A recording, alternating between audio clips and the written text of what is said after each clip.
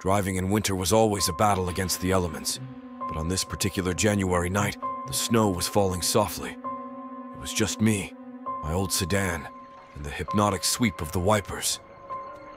I'd taken this route home a hundred times before.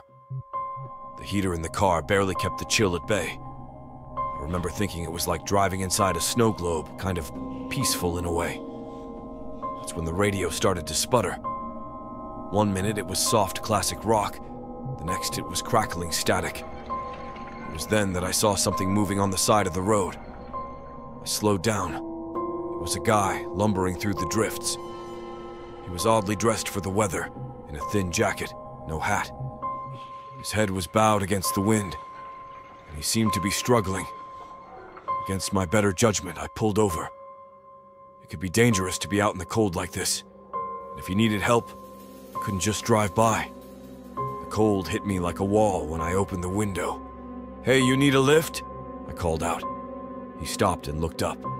His face was pale, almost blue, and his eyes, they were like two dark holes in the snow.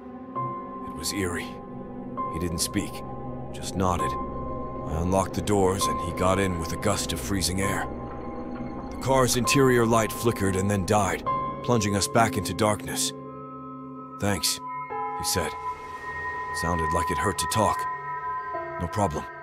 Where to? I asked, pulling back onto the road. Just ahead. Keep going. He pointed with a gloved hand that had seen better days. We drove in silence for a bit. The cold seemed to have got deeper into the car with my new passenger. I tried to make small talk, but he only gave one word answers. Then, without warning, he said, Stop here. We were in the middle of the woods, no house in sight, just snow and darkness. I looked at him, but he was staring straight ahead, fixated on something outside the car. This is my stop, he insisted.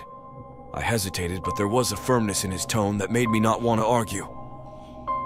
I stopped the car, and he got out.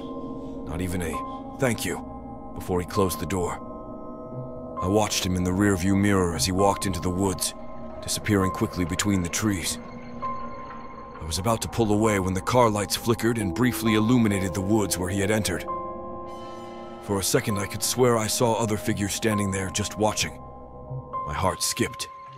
I blinked, and they were gone. I drove the rest of the way home without stopping, without even looking in the rearview mirror.